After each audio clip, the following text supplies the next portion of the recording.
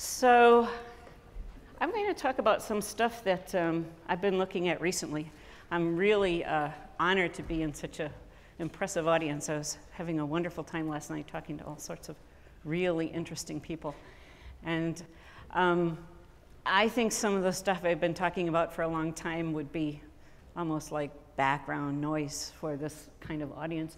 So I want to talk to you about some of the things that Tom and I have been thinking about recently.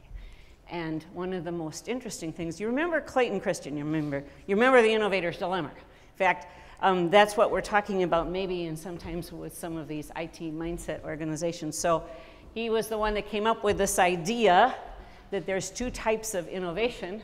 Um, one is sustaining innovation. That means if you take care of the customers you have, then your product will never be able to be attacked. Um, however, what you don't know is there's those customers you don't have. And that's where disruptive innovation comes in. So the, um, the dilemma is doing the right thing for your current customers is the wrong thing for creating or surviving any kind of disruptive innovation in your market, which we have seen again and again and again. In our world, it's almost all about disruptive innovation. So interesting, recently, Clayton Christensen in the Harvard Business Review has published a new way of thinking and categorizing innovation. He's got three categories now, not two. And he said he was triggered by this whole jobless recovery. So why do we have a jobless recovery? This, if you, this little chart up here shows how many months it took to get back to the job level we were at after each one of the um, uh, recessions over starting in, I don't know, 1970s. And all of a sudden, our recessions are not recovering with the same amount of jobs. And then he came to the conclusion that it was the business schools that he's responsible for teaching in, and the students that he's responsible for delivering to the market that are causing this problem. So that's an interesting concept. So this is um, from a video he did. You see there he is, Clayton Christensen. So what we have here is um, here is disruptive innovation, right here. We have a product and it goes to wider and wider circles. And he now is going to recategorize these by their impact on the economy. And so he's going to call this, at first he called it an empowering innovation. And in the latest article, he's renamed that a market creating innovation. So this is disruptive innovation. And with disruptive innovation, you create jobs, um, but you use a lot of capital in order to do that. It costs a lot of money. And then we have the sustaining or, uh, innovations here. And then we have efficiency organizations. So efficiency organizations eliminate jobs and free up a lot of capital. Now, the problem with the business schools is that they've been teaching economy is about scarcity. And capital, of course, as we all know, is scarce. And so almost all of the financial metrics for determining whether or not investments are good have to do with return on capital. How fast can you get your money back from the amount of money you've invested?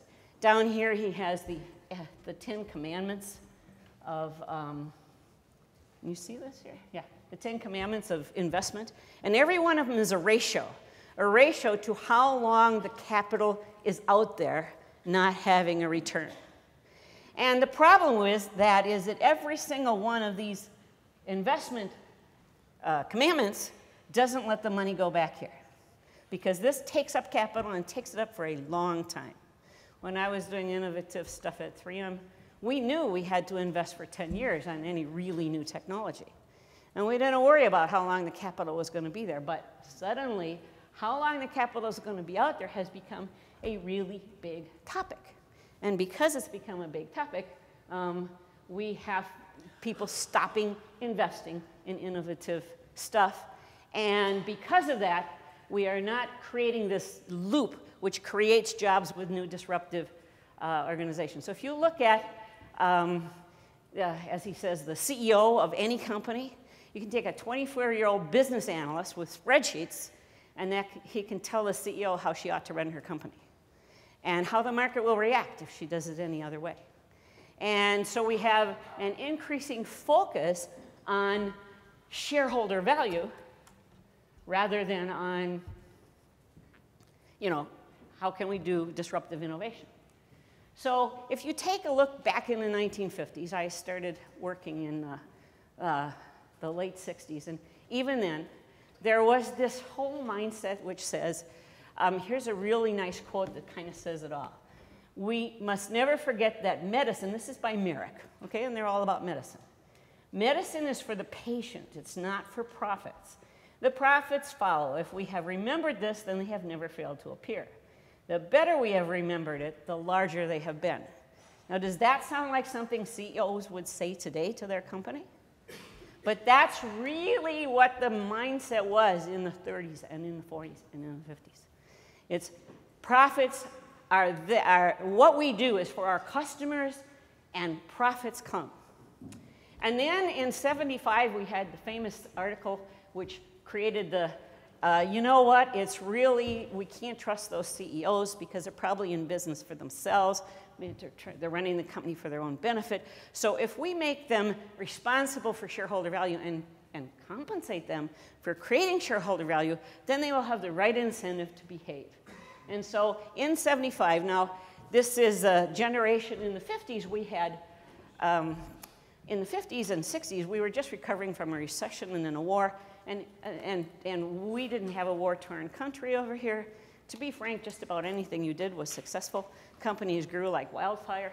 And then we got 25 years later, next generation managers, and it was much harder. And then there was this great idea that the purpose of business is to maximize shareholder value. Um, as some of the business thinkers today say, probably one of the most damaging ideas that ever hit uh, the economy and it's originated and done the most damage in this country. Um, so if you think about the purpose of businesses to be shareholder value, that's why you can't invest money in disruptive innovations. So this is what's happened to CEO salaries, and by the way, mostly in the US, um, not even so much in Canada or in Europe. Um, so what you have is in 76, the CEO would make maybe 30 times the average worker and by 2013, maybe 300 times the average worker. So the capital is being conserved, and the CEOs are getting their shareholder value shown in their compensation. Uh, they didn't get stock option compensation until shareholder value was there to motivate them to do the right thing. Did they do the right thing? Well, um, this is what I like. The planet got destroyed, but for a beautiful moment in time, we created a lot of shareholder value. Now, what happened in the tech generation is that some companies said, maybe we're not going to do that. And if you take a look at the IPO documents of a lot of the, uh, of a lot of the internet companies, they specifically say, you're looking for us to care about shareholder value, just go somewhere else. Because that's not going to be our focus. Just forget it. And at Facebook, I like this quote because it says something. Uh, we don't build services to make money, we make money to build better services. Sounds like the first one. And in fact, um, John Shook, who's one of the really good thinkers in lean, said the difference between General Motors and Toyota is that General Motors is in business to make money, and Toyota makes money to stay in business. And you can even think about that in um, uh, say, say Southwest, when it had its days of being just the only profitable airplane out there, aircraft out, air, airline out there. It said, um, you know, we do employees first, customers second, shareholders are distant third, but they'll be okay. As long as we take care of our employees, they'll take care of the customers, and everything will be okay. Um, Clayton Christensen says in his article that spreadsheets are one of the really big problems here. And in fact, he calls them the fast food of uh, strategic decision making. Just as abundant, cheap fast food helped create an ep epidemic in obesity and diabetes, the popularity of spreadsheets has given rise to an unhealthy dependence on financial metrics, especially ratios dealing with capital investment. So one simple way to get this tool in its place is to don't begin or end an investment conversation with reference to a spreadsheet. Okay, so if we're not going to do that, how on earth are we going to make decisions? Okay, we just flip a coin. Why not? Um, and I think the lean mindset is about answering that question. How do we make decisions if we're not going to go to financial metrics, um, which is not to say that financial metrics don't help inform the way we think about things, but they're a second order effect. The first thing you concentrate on is something else. So I believe one way to think about the lean mindset is think about everyone that has it thinks this. Financial metrics are a second order effect. The first order effect is thinking about something else first. Your levers, your real levers, are energized employees, delighted customers. It's making a difference in the world or in lives of people. And it's flow, um, rapid flow of value. And these levers then create the financial metrics that you're looking for. So if you're going to say these are your levers, then you might also ask yourself, um, okay, we get these levers right, we get the financial results right, so how do we get these levels right? Well, um, I'm going to talk about what I'm going to call lean analytics rather than lean measurements. Lean analytics. How do we think about these four things? How do we analyze whether or not we're doing them right? So, engagement. So, the opposite of what did you have on yours? Apathy is engagement, yeah. Uh, reputation. To me, this is sort of like a measure of quality and, and brand uh, permanence, impact, and flow. So I want to talk about how we think about measuring those things in companies that do well, or analyzing, having a metric that helps us analyze those things. So Gallup's been measuring engagement for a really long time. Um, and I was at a conference in Wisconsin, and um, maybe summer before, maybe about a year ago.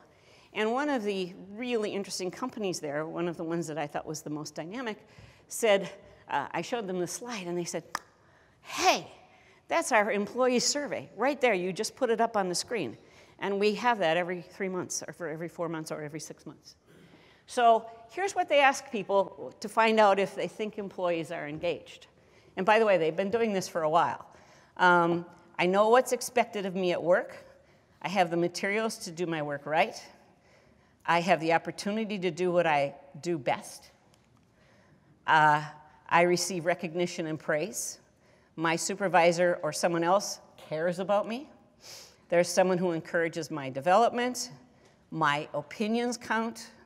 The mission and purpose of my company makes me feel my job is important.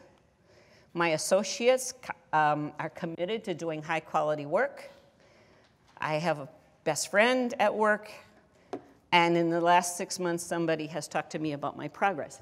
Now, I'm not so, oh, and then last year I have opportunities to learn and grow.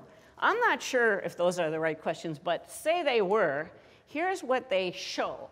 When they give this survey to the many companies they do, companies that are in the top quartile, of, of the respondents have 30% less absenteeism, 48% fewer safety incidents, 41% fewer product defects, 21% higher productivity, and 22% higher profitability. So their, their point, okay, it's metrics, is engaged employees really, really do help to create companies that work. Now let's go to a technology company. One of the ones I kind of like and know a little bit about is Spotify in Stockholm. And um, you can read a bunch about its engineering culture. Uh, there's nice, some nice videos by Henrik Kniberg online. But, um, and in Stockholm, when Tom and I are in Stockholm and we want to show a company um, about its competition, we always show those videos of how they have their engineering culture because right now the, the scarce resource is not capital, as Clayton Christensen says. It's not about capital. It's about talent. It's about really creative, smart people caring about making your company successful. And if you can create an environment where that happens, that's the most scarce resource around. Um, so what they try to do uh, when, when we're in Stockholm is I say, if you can't create a company with engaged employees, there's this employer right over there in downtown that would love to have them and, and routinely does. Um, but Spotify also attracts people from lots of countries because it has to be a global country, company. Um, anyway, it's an interesting it's an interesting company because their primary value is small autonomous teams. So they started out building everything on this. Um, we met the founders, what, six, seven years ago in one of our classes in Stockholm. And uh, it's amazing to see how they've grown. And here's what they do. They ask their, their employees, their employees, it's about every four to six months. Basically, they have these squads. They call them squads, sort of like an army squad. My squad has a dedicated product owner that prioritizes work and takes both business value and tech aspects into consideration. My squad has an agile coach that helps us identify impediments and coaches us continuously improve our process. I can influence my work, be an active part in the planning, and choose which tasks to work on, and I can spend 10% of my time on hacking. My squad can and does get stuff live with minimal hassle and sync with other teams. My squad feels ownership of its process and continually improves it. My squad has a mission that everybody knows and cares about, and my stories on the backlog are related to the mission. And my squad knows where to turn for problem solving support for technical issues as well as soft issues. So that's what they think is um, engagement. And they measure that ruthlessly. But um, one of the interesting issues here is that this is a squad level thing. And as, as you get big and complex, you have to think bigger than just engagement. So if we try to go beyond engagement, okay, and look at scale, how do we get engagement not just in one team or one squad that's autonomous, how do we get big companies, big organizations to be really have an engaging environment, something that people love to come to work in the morning. So I ran into this really interesting book called Six Simple Rules how to Manage Complexity Without Getting Complicated. And this is by Yves Morieux and Peter Tollman. And Yves Morieux is from um, France. And he has this wonderful uh, TED video that you might want to watch with uh, just a, a really cool talk. But anyway, what he talks about at scale is yes, you have to have autonomous teams. You have to allow people to think for themselves because you've got all these smart people in your company. And when our world, if we have smart technical, if we have technical people, I have yet to run into very many of them and they're really smart, really good ideas, really competent, and really clever. And if they're not able to use that, that's where the problem is. It's not that we don't have the talented people, it's that we don't turn them loose to think. Um, so you want to be able to use everybody's brain power, and you want to set up ways that they can do that. And the second thing, though, is you can't just do that on a small scale, on a one team scale. You need to figure out how to do that across a larger organization so that all these squads are coordinated for the good of the overall company's benefit and its mission. And so he says there's two things here. One is autonomy, but the other one is cooperation. And so, how do you maintain both autonomy and cooperation at the same time? This is the big puzzle. And I'm not sure there's lots of easy answers. I've seen ways to try to attack this with organization, and I see ways to attack this with process and with rules. But I like these um, things that, uh, that are in this book because they seem to take a much more holistic approach. So, um, first of all, number one, if you think you're going to have an engaging organization and you're using everybody's brain power and getting it focused on the right things, then you need to understand how work works. I think we have far too many managers making decisions that don't have a clue what the people working for them are doing. And um, see too many, you know, you have your things that bug you, and I have my things that bug me. That is um, managers that come in and manage but do not understand the thinking process and the complexity and the problems behind putting together a really good, really complex software environment. It's not easy. And it's not easy to manage from a way, a, a position where you have very little understanding of the intricacies of what's going on. Know how the work works. Really understand how people are struggling with things, what they're trying to do, how, at a detail level, stuff actually gets done, decisions are made. And then you need to think about creating stable squads. That is, you don't reassign people to work, you create stable teams and then give them problems. Now, this is a sort of a agile mantra, although we don't always see it in IT minds. I love that my IT mindset organizations at all. Um, but this concept of stable squads, um, so that people learn how to work together and become as a building block unit, a powerful unit to which you can give problems, is um, a pretty fundamental concept. And you'd think a lot of companies that have it, but you know, we, Tim and I were just at a company which didn't really do that. They had project teams which kind of didn't work. They had line managers which kind of didn't work. And if you sat in the position of a person that was trying to do something, you had no idea what your priorities were because you had these things pulling, and it was always individual task based. So, really, stable squads that think for themselves. But the other thing you need is ways to create cooperation, useful cooperation across those squads. And that's something that many companies that have successful squads, like even take Spotify, are struggling with. Uh, how do we get them to cooperate if they're going to be autonomous? How do we make that happen? And he says, give power to the integrators, the people whose job it is, typically managers, of getting people to think across the boundaries and getting teams to work together on much higher level problems. When you have all separate little projects running around, with each project manager having like their own domain, um, he says in this book, they kind of get in the way of having an overall purpose for the organization that you're driving towards in two years, because you've got all these little sort of sub people in there that are kind of not allowing the big ideas that need to be cooperated across teams to happen. So you have to have a way to create integrators. Um, more on that in a workshop, but the next one is to extend the shadow of the future, which means make sure that the teams will live, have to live with the consequences of whatever decisions they make over time. It's a kind of an interesting concept and not one that projects ever implement. Um, and increase reciprocity. So you want what is they call rich objectives. You need overriding big ideas, objectives, and then you need so each team to know how they contribute to that objective and how they help their partner teams be successful.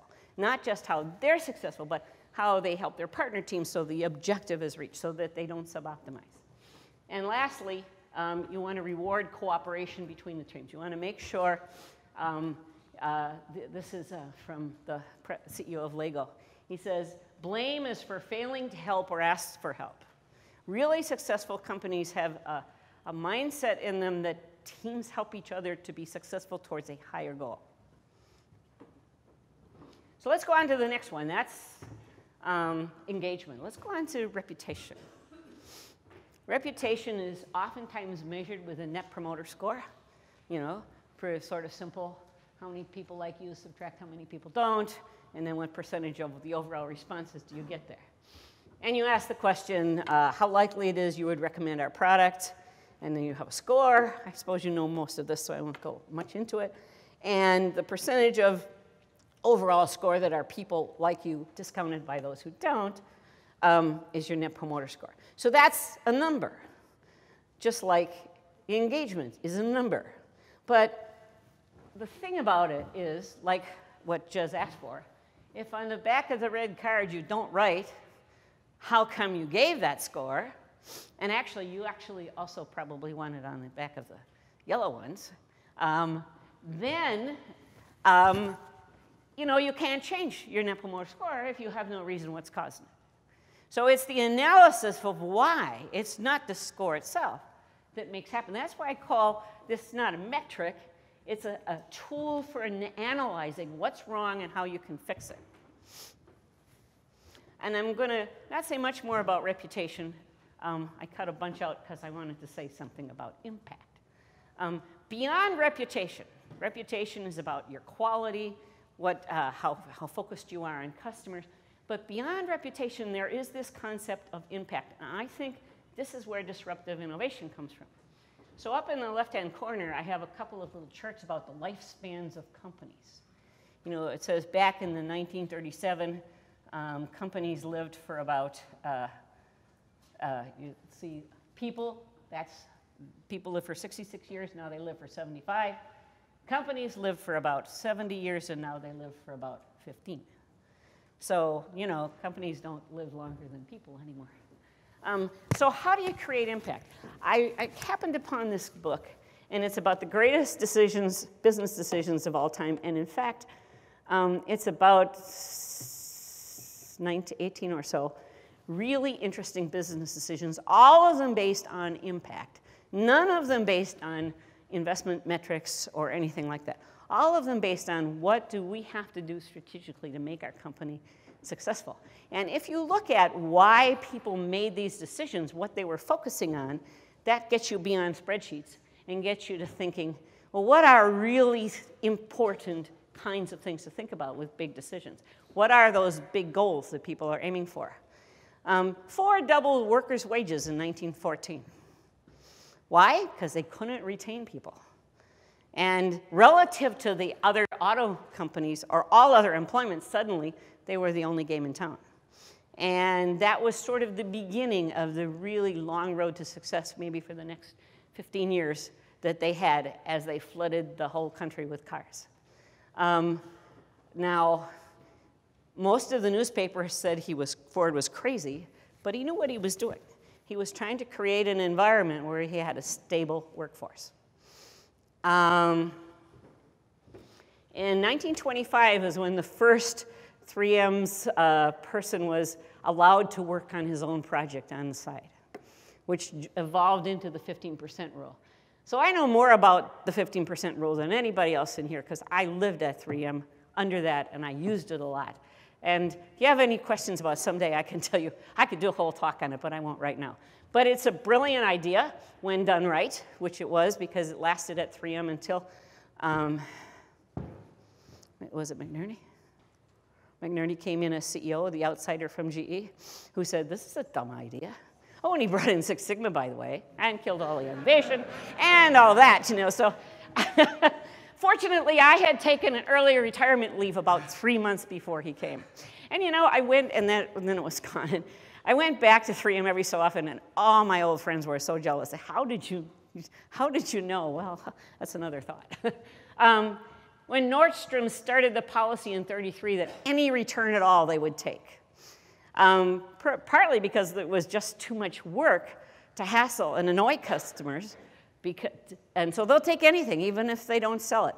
But it, it became the basis of a fanatical focus on making customers feel happy and not getting into an argument with them. And um, customers are always right concept. And that exists yet today. And then there's um, 1925 when Boeing bet the company on the 707. It had been in the military environment up until then. This was a massive investment how did they know it was going to work? Well, they didn't. I will tell you that by today's financial standards, this investment could not be made. But they had a uh, CEO and leadership team that said, you know, I think with the wars over and all, uh, what we really need to do is to get into the commercial market, and McDonnell Douglas was there. And another interesting thing they did was they actually advertised to the consumer, not their customer, not the airlines, but the consumer, what a great plane it was. And they went on to become quite the company after that. And then there's the HP Way in 1957, which said, we have trust, we have teamwork, we have risk taking, and that's what HP is all about. And that lasted, again, until some outside CEOs came in and changed it. Um, and then Toyota adopted Deming's quality principles in 61. Before that, they didn't. They came into the American market in 50s and failed miserably with junk. And then they decided, well, that isn't going to get them here. And so they, they, they went wholeheartedly into Deming's principles. Um, in 52, Walmart started meetings between the execs and the, the, the clerks in the store. Every Saturday morning, they'd talk. The clerks would say, Well, we think we need to be putting these things in the store, and the execs would show how the company was doing. And this continued for, for decades, where the executives met with the people actually on the floor sewing. It's interesting. In 81, Soft Soap, a little tiny Minnesota company, had this idea of a pump, which for, for, for hand soap. Do you remember before that was, you know, an idea? And it was always bars? And they found that they had um, really no patent protection on their idea. And they really thought they had a brilliant idea, but they um, also saw all the big, you know, uh, big brands coming in to copy it. And they had spent a bunch of time with a supplier developing a really unique pump. And what they did was they bought up an entire year's supply from that supplier. Huge investment. Again, there was no good return on capital on this one. But it gave them a year in the market before anybody could actually buy the parts. So instead of patent protection, they basically took the supplier that they'd nurtured and, and bought them out and said, just supply us, we'll, we'll pay you for a year. And that gave them a year's lead on the market and allowed them to get into it. Um, just a feeling that they had such a good product that it was worth doing. When Johnson & Johnson pulled Tylenol from the shelves in 82, which we all know was a brilliant decision, um, they did it on a principle that they're all about patients. They're all about customers. But every single financial advice they got, and even advice from the government of the US, said, don't do that, that's too expensive. But the, uh, the impact, because their credibility with the whole world, uh, with, with their customer base, was worth way more than the, the massive amount of money they spent doing that. And um, Intel Inside in 1989 created a massively expensive campaign to people they did not sell any product to. Us. Okay? It created one of the most ubiquitous brands in the world, and it's known by consumers who then started demanding Intel Inside.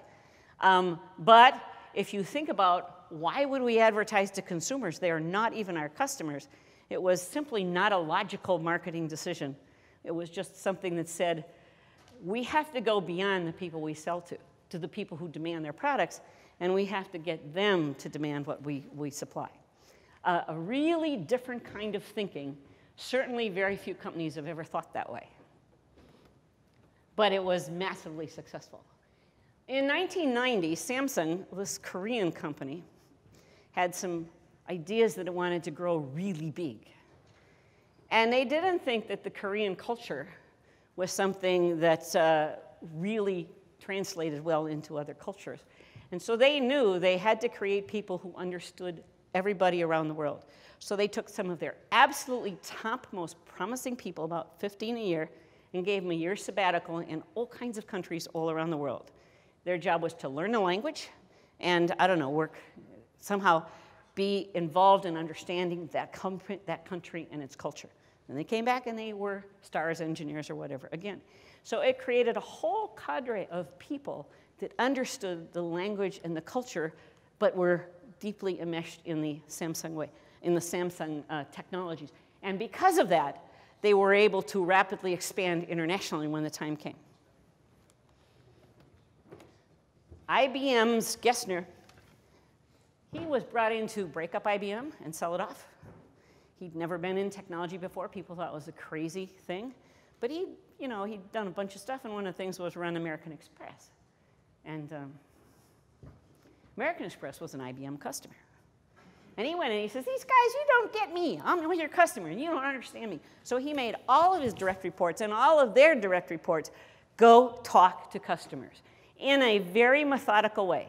They had to have five visits, and then they had to write up a one page report which went to him about what they learned and how they were going to change their environment because of what they learned from customers. And it brought IBM back to its roots of intense customer focus. It's one of the things that allowed them to change the culture really fast to start focusing on what people want and to turn into a consulting company rather than a hardware company. And then there's Apple bringing Steve Jobs back, and I'm not even going to talk about that. And then there's um, Zappos. Zappos was about to die in 99, and so um, they came up with this idea of free shipping for shoes. I mean, isn't that, and, and for returns. And y'all know the history of that one too. It became an incredibly successful marketing tool, but it wasn't born of we want to market, it was say, we need to do something which really has an impact on our customers, which will catch their attention and make them pay attention to us, and that was it. So when you think of these, these are all high impact decisions.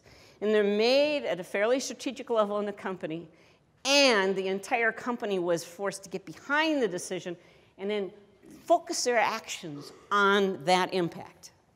And that's the environment you want. That's an environment that's really, by the way, difficult in an IT um, mindset, but not in a lean mindset.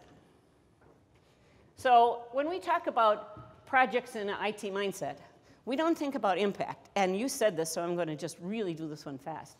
Um, but what we need is what, what I'm going to call impact driven. We have to think about impact rather than, um, rather than even rapid delivery. But what impact are we trying to make?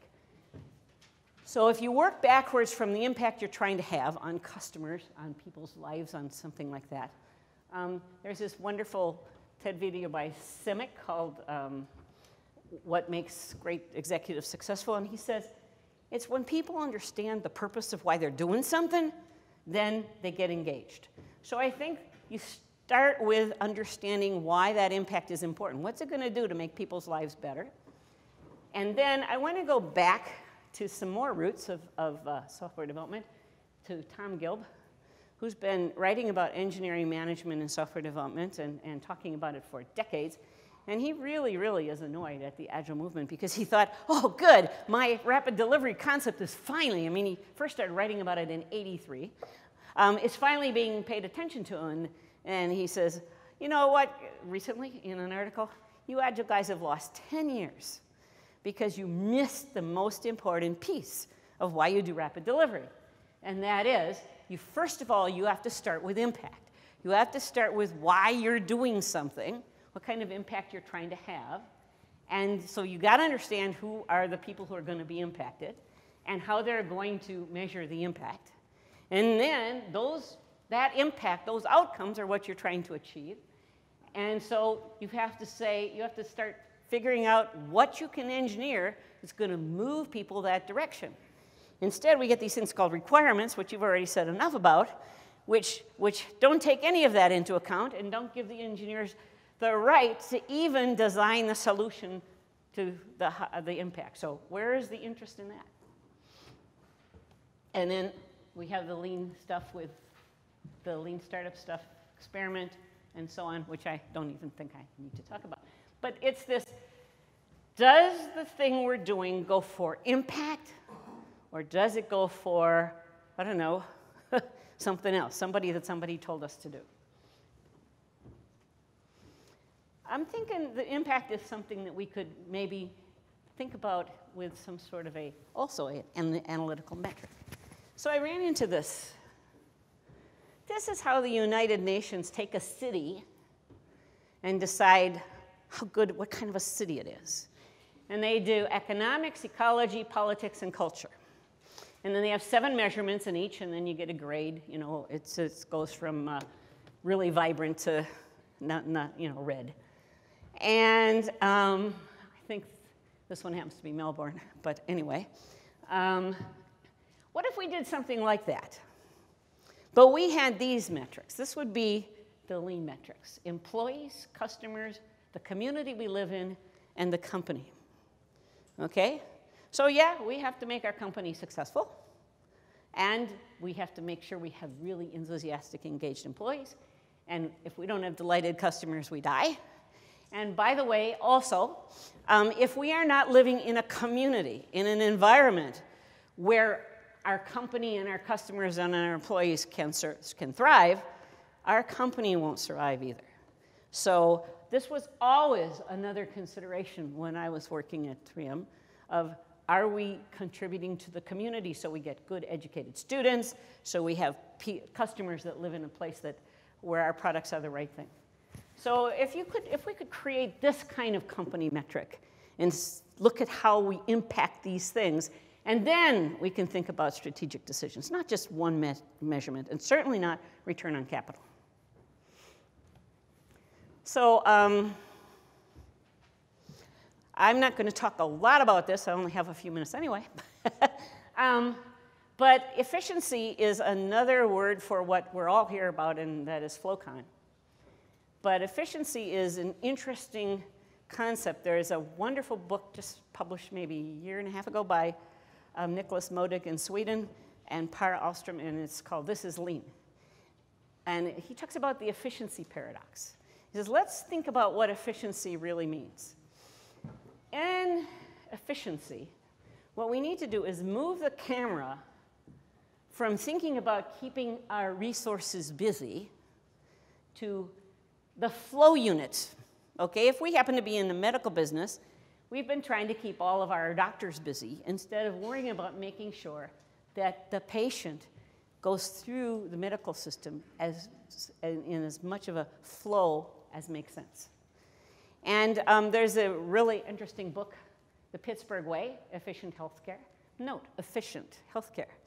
And what they uh, did is exactly this they stopped thinking about this and started thinking about the patient. So they eliminated the waiting room. They realized they didn't need it. The waiting room was all about some other kind of efficiency, resource efficiency. The actual time that a patient spent doing anything useful in a waiting room was maybe five minutes. So why couldn't we set it up so those five minutes were all the time they spent there?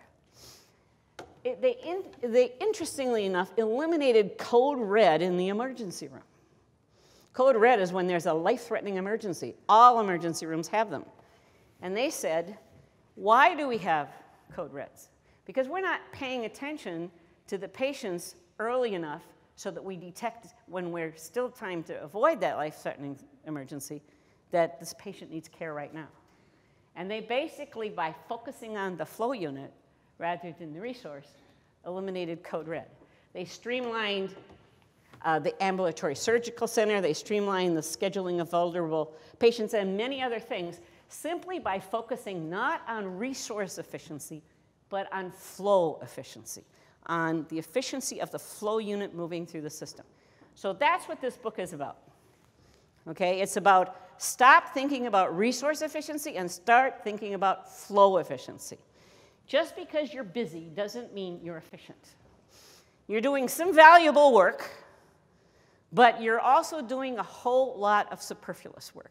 In the, in the waiting room, you're shuffling papers around, you're if, if you did, if you could actually deal with the patient in five minutes, you would be very efficient in your, others, uh, in your other jobs. So there's a lot of superfluous work that goes on when you're trying to keep your resource always busy. Busy, yes. Efficient, no. And then you also get failure demand. You've got people switching, um, you know, from one doctor to another. They have to read the medical record. The handovers are kind of you know, uh, Maybe they don't work right. So there's lots of reason for failure demand when you don't try to streamline a process.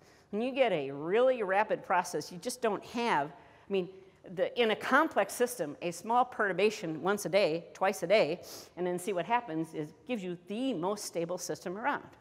Instead of waiting for three months or four months or five months to develop, and you know that. And it's the same thing um, with flow. When you create this flow, you get rid of a huge amount of the instability and the quality defects that you used to have.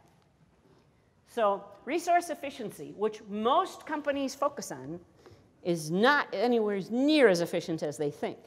Because when you have long throughputs rising, stuff happens, always does. Um, windows of opportunity close.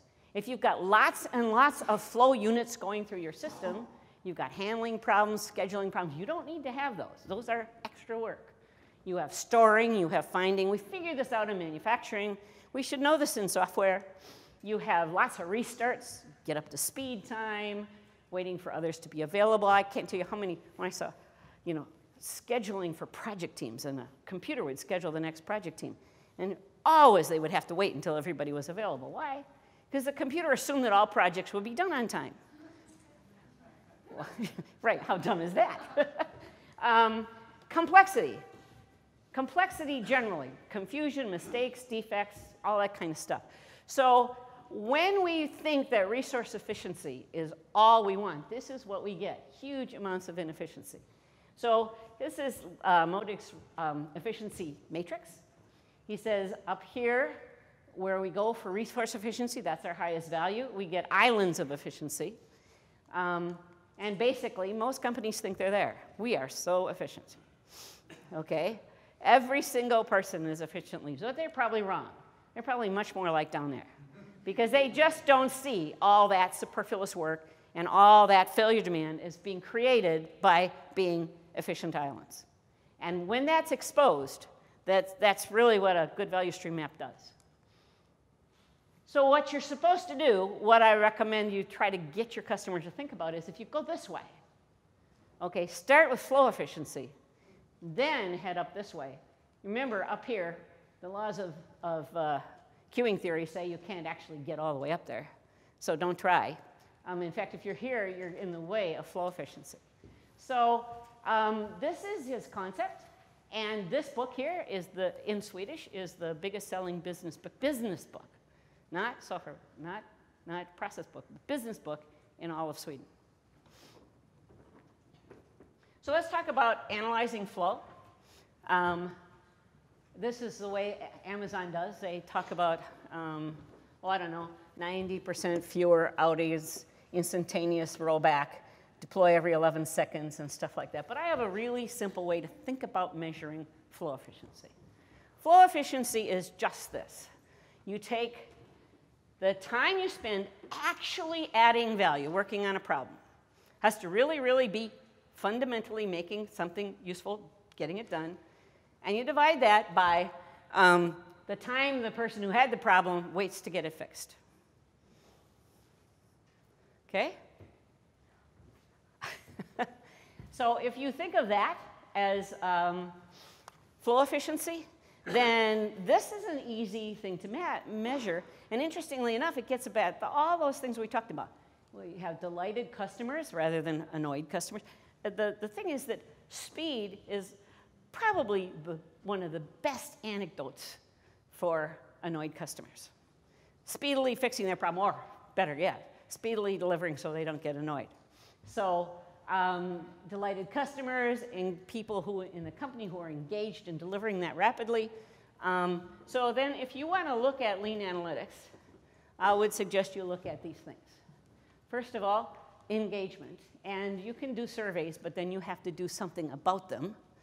Or you can think bigger about how do we structure an organization to have both autonomy and cooperation.